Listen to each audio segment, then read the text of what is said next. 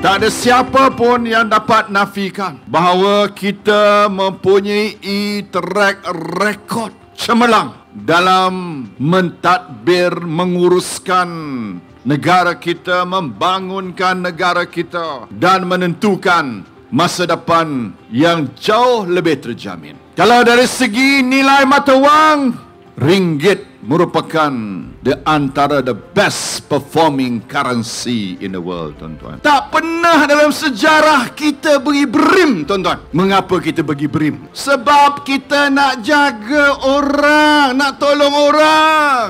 800 ringgit masuk, tuan-tuan. Kita bagi kerana apa?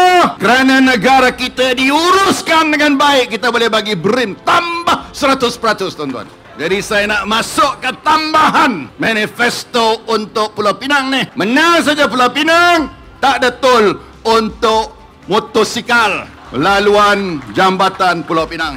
Tambah lagi.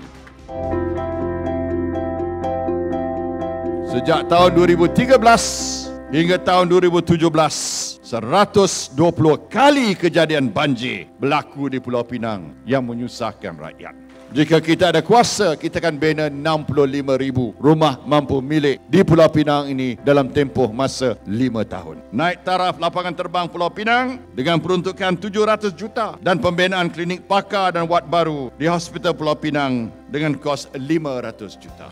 Kampung Serono akan dapat jenjantas motosikal berjumlah 10 juta kerana saya tak rela tengok ada lagi orang yang terkorban nanti. 99.4% janji lima tahun dulu telah pun kita tunaikan. BN Pulau Pinang telah kira 51 MT Promises Parti DAP di Pulau Pinang ini. 51 janji tak ditunaikan. Kita 99.4% telah kita tunaikan.